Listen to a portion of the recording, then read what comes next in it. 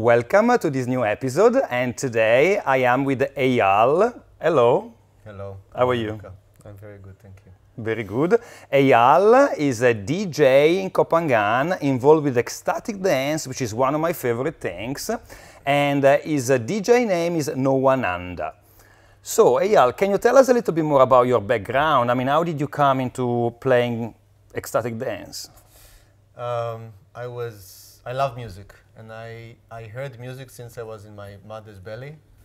Uh, they played, you know, classical music, and I, I grew up with a lot of different kinds of music. You know, in Israel, multicultural society and family, and all my life, you know, I was I was the kid uh, making the cassette, you know, compilations, and you know, putting on the, the music in the party and the sh- and the lights and everything. So all my life it was a hobby, and then a few years ago I finally chose to go into it professionally. And since then I'm just, you know, waking up in the morning. I'm like, I just have to do it. It's not it's not a choice even. It's it's kind of like life is telling me, do this, and and it's showing me that that this is my biggest passion, and um, yeah, it's amazing. And specifically ecstatic dance. That's lovely, and I know that, of course, you play on the island. At the same time, you're also a music producer. You make your own music, is yeah, that I right? started. Yeah, I'm just it's it's a it's a long start. It takes time. DJing it's easier, you know, in some way because you know I play amazing musicians that doing it for 20 years, you know. But to make it, it's like it's like facing a blank page and then having to to put something there, and and then it's you know what do I even want to play? What do I want to listen to? What do I want to create? And there's a lot of questions. So. I did a lot of things. I have one uh, label release also. That Oh. was really, really nice. So. So much fun, you know. I think uh, what is fun about it is the creative process, you know. And then if you're producing uh, art or different types, uh, music, uh, it's just so good for the soul, isn't it? Producing uh, something which is your own and creative in nature. Yeah. But tell me a little bit more about your uh, take on ecstatic dance, because uh, I interviewed Shai, and of course, uh, ecstatic dance is uh, you know one of my favorite things. So I know all the DJs, etc. And I can tell that every DJ is a little bit different, obviously, because they bring the, a bit of their own to to the to the to the session, right? So how would you characterize your ecstatic dance? So my ecstatic dance is called Sacred Rhythms, and the idea with Sacred Rhythms is that it brings ecstatic dance back to what, for me, is the is the journey, is the sacred journey. Uh, it's not so much a party. Okay, some some places people consider it more more like a party. For me, it's a sacred journey that can be internal or can be connected with other people. Um, and there's, if I can uh, talk about the, the principles of ecstatic dance, which are really dear to me. The most important one is no talking. Sure. And um, you know, I love talking, but also in ecstatic dance, I love it that there's no talking. Because the moment there's talking, something activates my mind and people's minds. So, you know, it's similar to Vipassana, similar to other traditions where you have a few hours or a few days or a few weeks where you don't talk. And for me, that's amazing. Um, and also, we are able to make sounds. So it's not, it's not being completely silent. It's actually inviting us to express ourselves through non, non-verbal, like non-words, but still make a lot of sounds. And there's, there's like, like animals, like children. Sure. You know? uh, there's no drugs and alcohol. Again, drugs and alcohol are okay in certain conditions, uh, but it allows us to be sober. And instead of intensifying something or you know, uh, heightened state of consciousness, uh, different state of consciousness through substances, we do it through the body, through movement, through music. Sure. So that's another thing. Uh, we dance without shoes. That on this island it's very obvious, but in the West it's not obvious. I danced in you know different places in the world, and some some people go in with their shoes. They they like, what do you mean take off my shoes? I want my dancing shoes. You know? So it allows us to connect to the ground. Uh, there's no mobile phones, and again I love mobile phones. They're amazing. But during this journey, we go in because sometimes on a mobile phone you switch out of what's going on around you. Okay, you're literally in a different zone. Sure. So this is amazing to let go of the need to distract and to numb, and instead go like, oh, connection to another, or connection to myself. So uh, It's wonderful ecstatic dance. The way I experience it is that, you know, after a, a few minutes, maybe a 20 minutes or so, when I start going in the flow, I really feel, uh, you know, the body almost moving on its own. And uh, the mind, as you said, you know, is uh, enter more of a meditative space, if you want. and is slightly detached from the body. And I feel the energy of the people around me. I feel lots of beautiful sensations, and it's so uplifting in terms of mood. You know, I feel amazing afterwards, and you know, it's something I do all the time, and uh, it's certainly a beautiful thing to do. And let's hope that it becomes more popular back in the West as well. I think there are Berlin. I know is a good place for that. London, there are some places. It's, it's becoming, it's becoming really. So I started around 2012 with Five Rhythms and ecstatic dance, and over over the past decade, it's really expanding. I lived in Amsterdam. In Amsterdam, nearly every day of the week, there's ecstatic dance in different places. Mm-hmm. And what I like about Amsterdam, that they're really clear about those agreements of ecstatic dance. You know, mm-hmm. and you know, if somebody's talking on the dance floor, you know, three participants would come and tell them, you know, shh. So that's really nice that that's, sure. that's respected. And for me also, ecstatic dance is about all aspects and all colors of being human. So we think about ecstatic, we think it's just, you know, like this, you know, joy and ecstasy and happiness. It can be also ecstatic sadness. So I put some, some songs which are really sad and heartbreaking. Mm-hmm. some a woman told me recently that it was the first, my ecstatic dance was the first time that she cried in ecstatic dance. Wow. So that's, for me, I was like, yes, it's like I, I managed to connect people into that. Anger as well. Mm-hmm. Anger is something which is something not, not so much accepted in society. It's considered, you know, wrong or aggressive.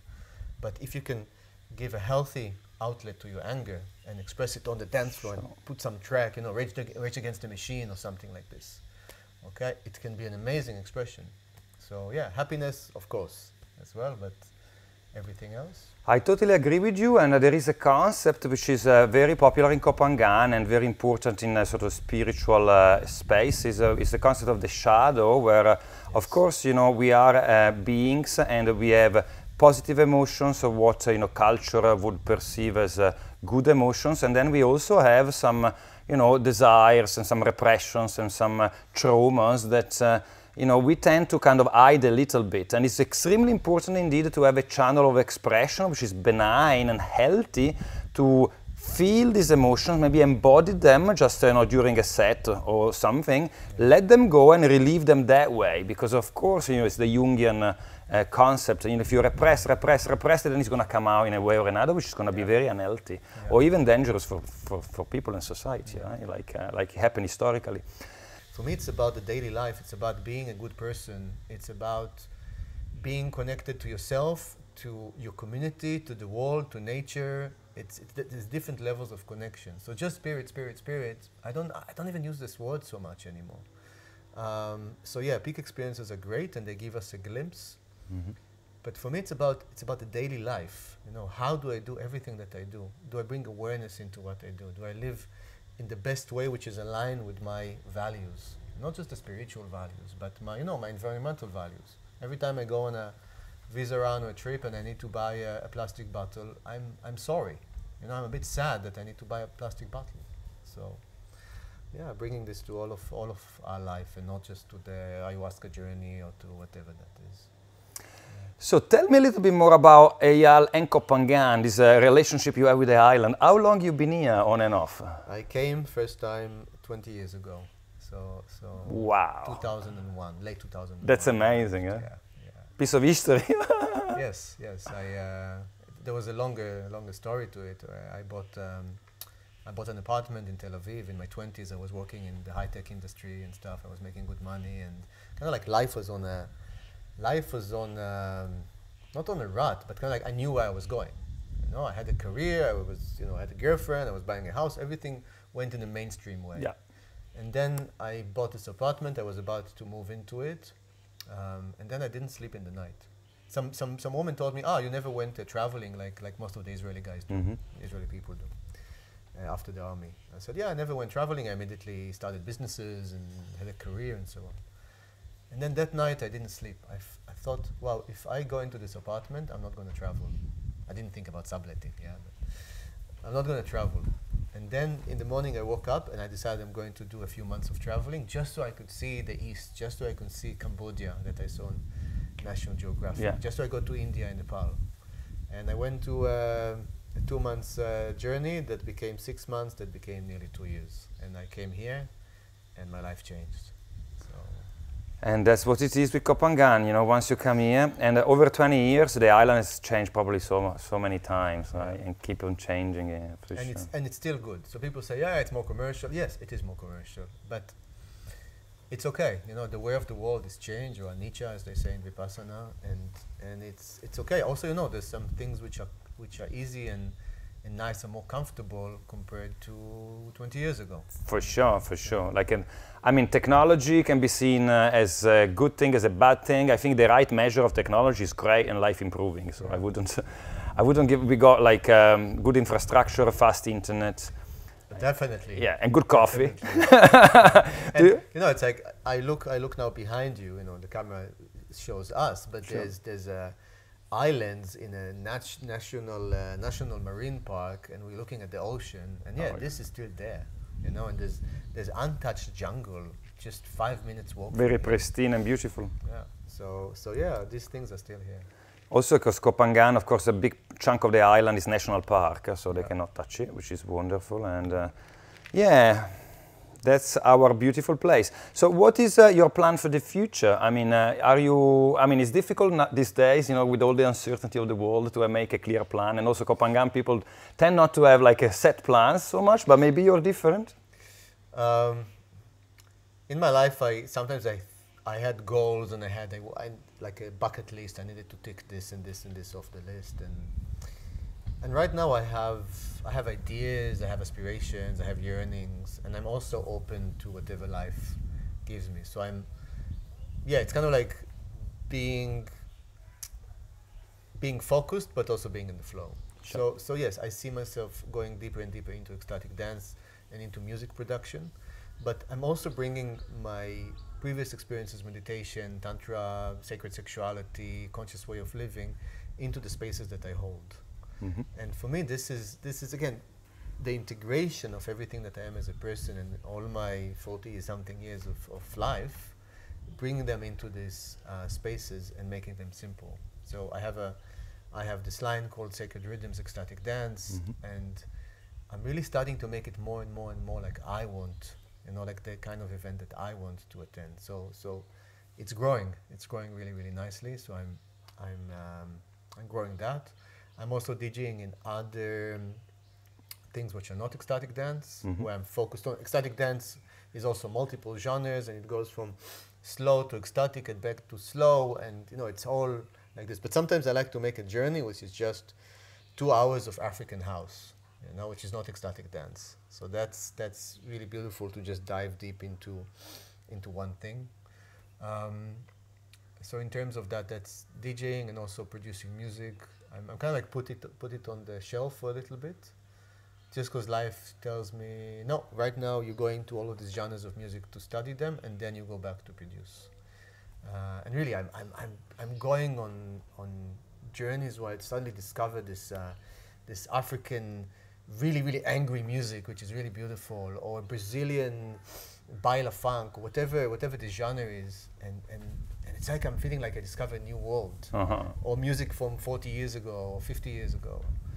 Um, so yeah, that's one thing I'm going into producing more uh, later. And also one of the things that I do other than music is nature. Mhm. So I'm really excited about nature and I'm hiking. I love uh, fresh water.